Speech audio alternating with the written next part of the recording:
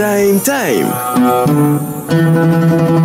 نهاركم أسعد الأيام صباح النور والسرور لكم الكل. نسلم عليكم وين ما كنتوا تسمعوا فينا. نبداو كالعادة في الأخبار. و récap آخر أخبار ممكن آخر 24 ساعة أو آخر الأخبار في نهاية الأسبوع اللي تهم الشان الوطنيه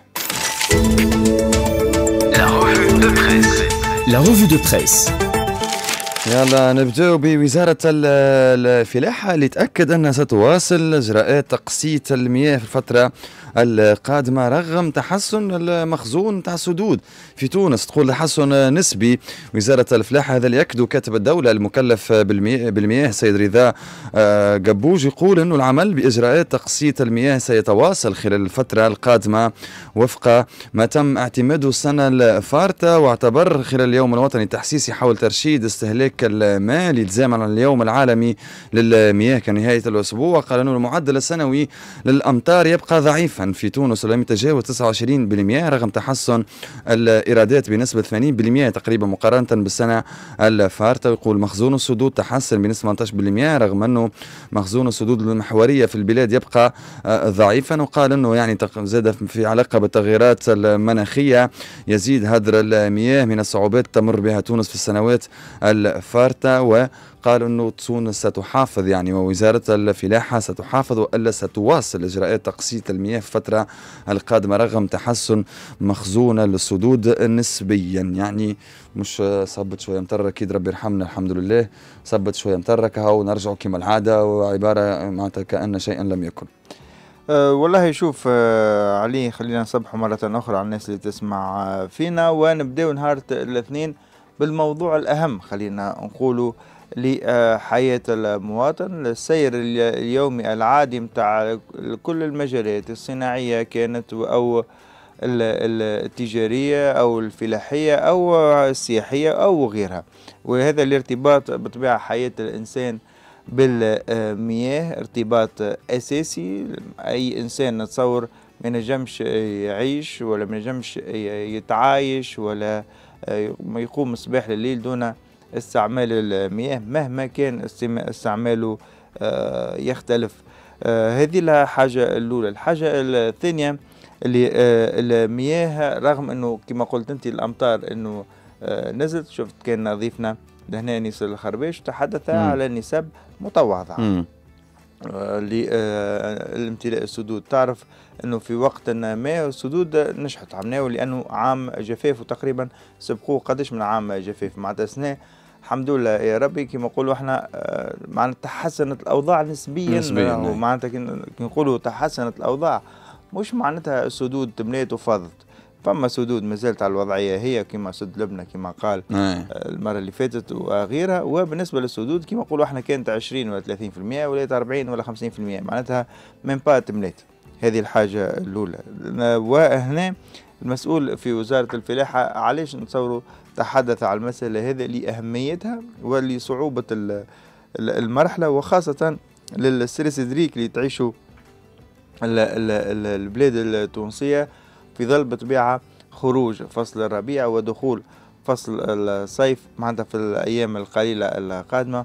وتعرف مع دخول فصل الصيف والله شوف نقول لك حاجة حتى الربيع نتاعنا ولا صيف. كي هو déjà قاعدين نشوفوا الربيع معناتها صيف ويتزامن معاه آه، ارتفاع درجات الحرارة وخاصة الشمس.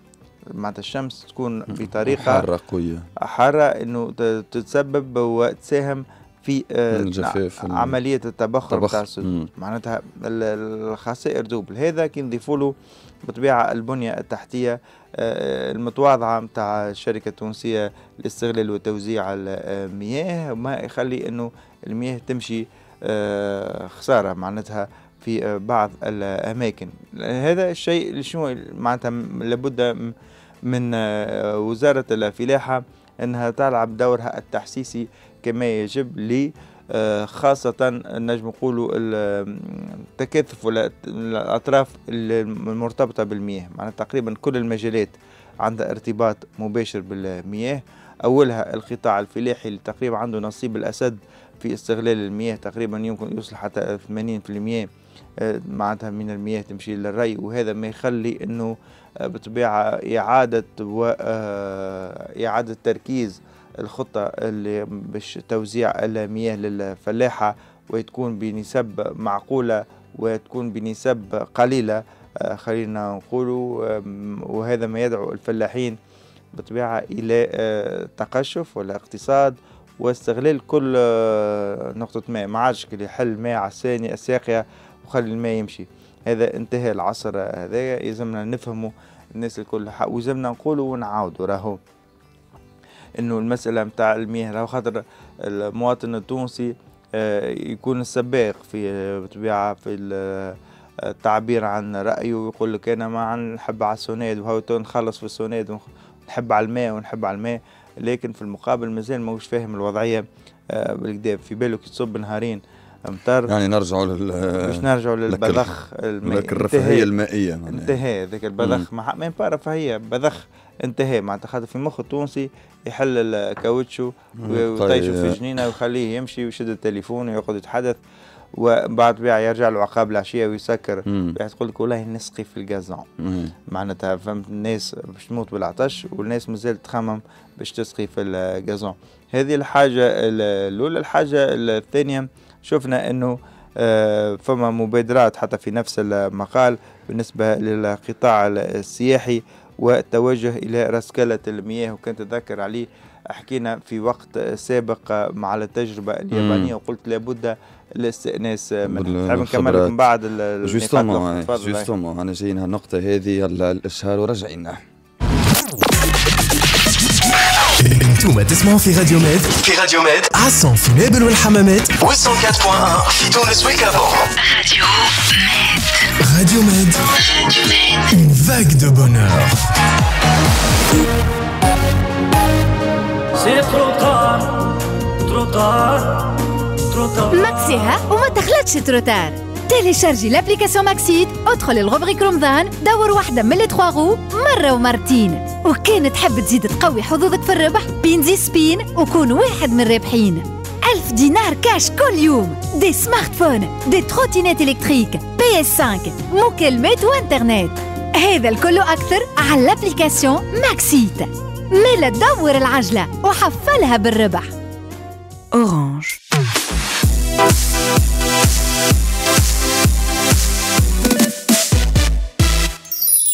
Prime Time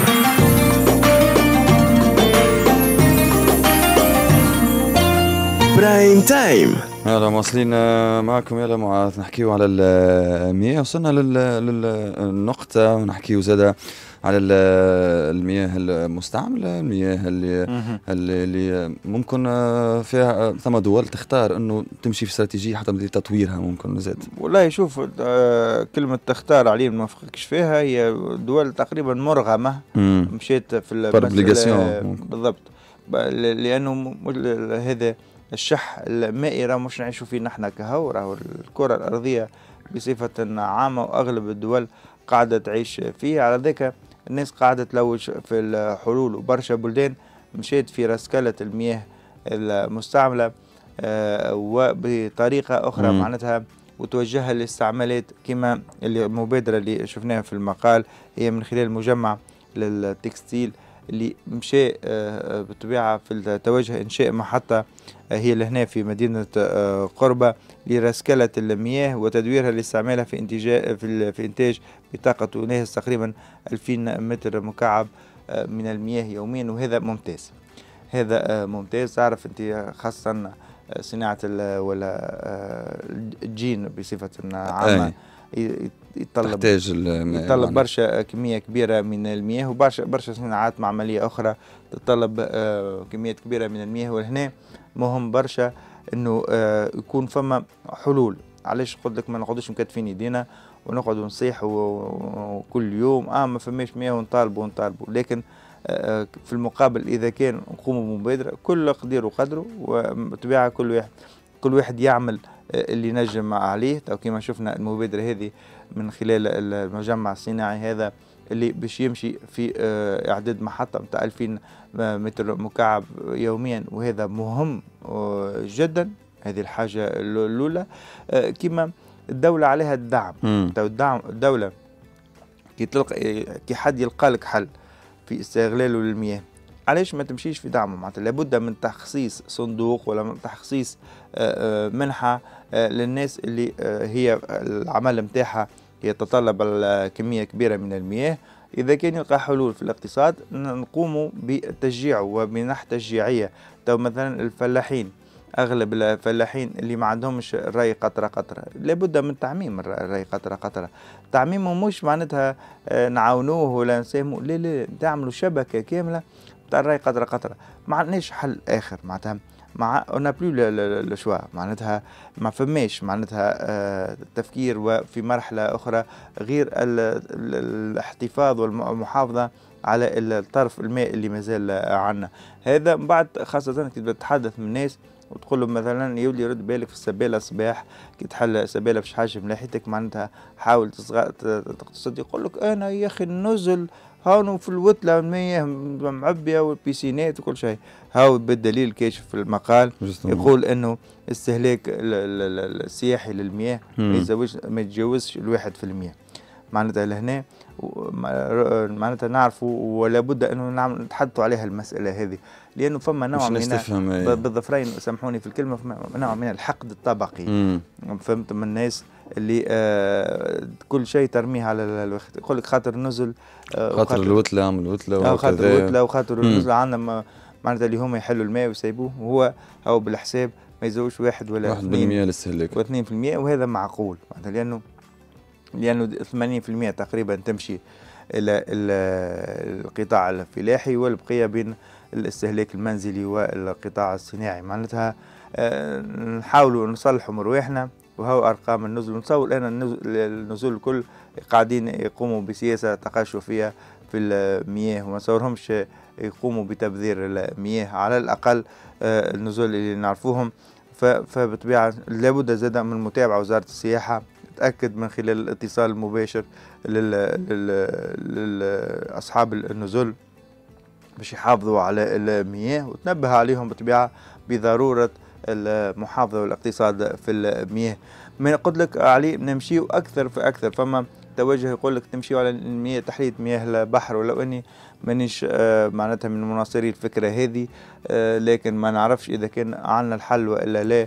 في في الأشهر وإلا السنوات القليلة القادمة تقريبا مرغم أخاك لا بطل. ها وزير الفلاحه لهنا يتحدث على ممكن خلينا نقولوا برنامج على الأقل للمستوى في الحي الزمني القريب بالنسبة لتونس وأيضا يحث القطاع الخاص على الانخراط في خطة ترشيد, ترشيد استهلاك المياه ونظرا للوضعية المائية الصعبة وزير الفلاحة والموارد المائية والصيد البحري عبد المنعم بالعاتي يقول القطاع الخاص وكل مستهلكي المياه يجب أن ينخرطوا في خطة ترشيد استهلاك الماء. ويقول أنه السدود ذكر أن السدود سجلت أدنى كمية سنة 2023 بلغ بلغت 22 آه، آه، بالمئة وأيضا شدد على ترشيد استهلاك الماء وقال أنه ضرورة ترشيد استهلاك المياه في جميع القطاعات المستهلكة من ذلك الفلاحي والسياحي والصناعي والمنزلي.